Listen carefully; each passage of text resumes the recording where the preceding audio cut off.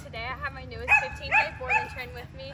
This is Meekah. Meekah, come say hi. Good job, pretty girl. Yes, good job, pretty girl. Meekah will be three this coming Wednesday, so she will be celebrating her third birthday with us. Exciting. Um, she is a three-year-old German Shepherd. Um, Mom and Dad brought her in today because she really, really struggles um, to walk on the leash. She doesn't really have any basic obedience, you know. She's never been socialized either. They want to start taking her out, everything along those lines. So let's just jump in and see what she does and doesn't know. Meekah, you come? Come, come, come, come, come, come, come. Yeah, come on, Meekah. Good girl. Meekah, sit. Can you sit? Sit. Sit? No. What about down? Down? Down? No. Go for a walk. I think he thinks that dog is his sister.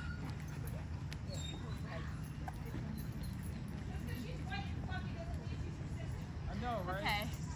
Um, as you can see, she looked a little good in the beginning, um, but just stay tuned for her amazing transformation. You can also check out all of our other pups on our Facebook and our YouTube. And as always, thank you for choosing Bulletproof.